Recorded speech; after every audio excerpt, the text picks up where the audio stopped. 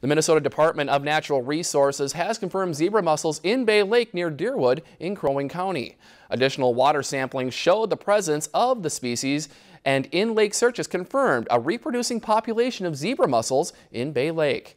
People who are out using Minnesota public waters in the summer months bring the most uh, most of the news of the new zebra mussel reports to the DNR's attention.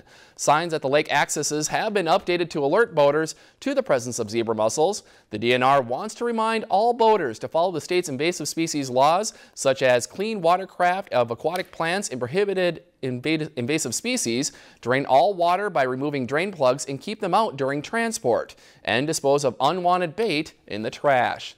The DNR also recommends boaters to spray their watercraft with high pressure water, then rinse with very hot water and let the watercraft sit for at least five days before moving the watercraft to another body of water. If you enjoyed this segment of Lakeland News, please consider making a tax-deductible contribution to Lakeland PBS.